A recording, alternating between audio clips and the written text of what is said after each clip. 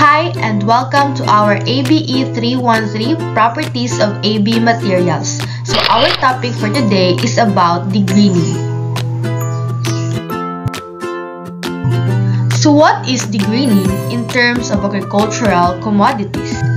In AB materials, degreening refers to the process applied to certain fruits, especially citrus fruits like oranges. It involves the removal of green pigmentation or chlorophyll from the fruit peel, making the fruit more visually appealing to consumers. This process typically uses ethylene gas or temperature treatments to accelerate the degreening process. Remember, it is important to note that only mature fruit is suitable for degreening. The reason is twofold. First, immature fruit has very high acid levels and low sugar levels, which do not meet its standard.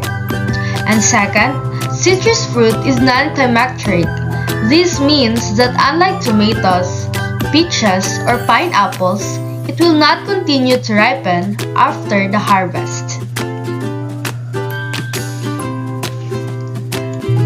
So how does it work?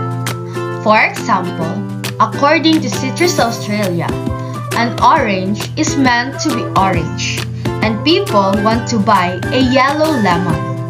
But at a certain time of the year, citrus fruit do not lose their green skin color on the tree, even though the fruit is ready to eat. Chlorophyll is the green color in plants and is responsible for the green color in citrus peel. The greening of the skin is a natural process of chlorophyll degradation by ethylene. On the tree, the greening of the peel happens when the night temperature are cooler in late autumn. Although the fruit may be mature inside and ready to eat, the weather may be too warm for natural green color development.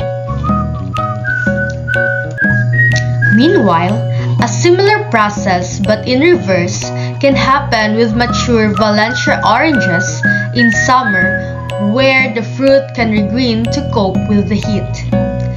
After a natural color has begun, only fruit that meets Australian Citrus Standards or ACS should be degreened in the packing shed.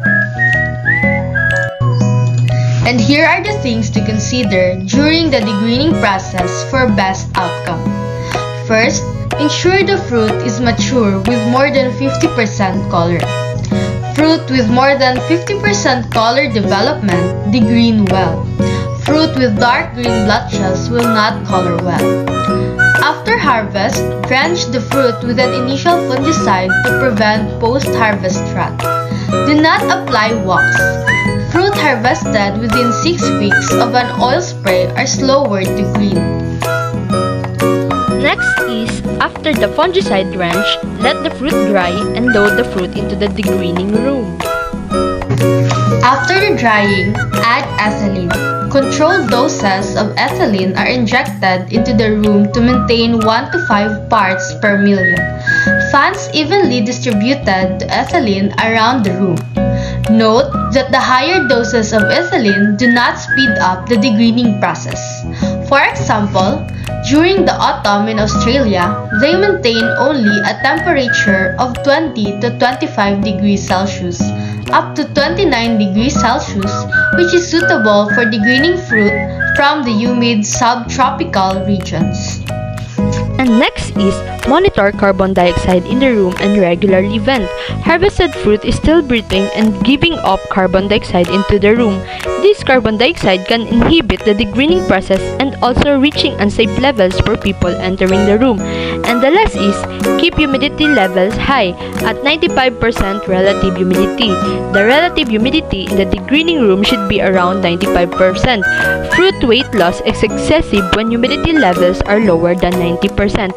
After degreening, wait for 12 hours to 24 hours and the fruit can be run over the packing line and graded. Take note, that the degreening process does not improve the eating quality of a fruit. People may get confused about what is familiar with us, which is the calcium carbide or calburo and the ethylene gas that is used in the process of degreening. So what its difference from each other?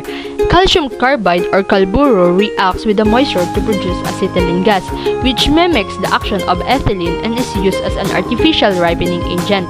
However, acetylene is not effective as ethylene.